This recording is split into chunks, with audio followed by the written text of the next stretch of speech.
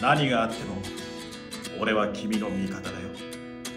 ベイビー恋が聞こえる。10月16日スタートです。何があっても俺は君の味方だよ。バンバ光一郎役の森川俊之です。ベイビー恋が聞こえる。10月16日スタートです。ぜひぜひご覧ください。よろしくお願いします。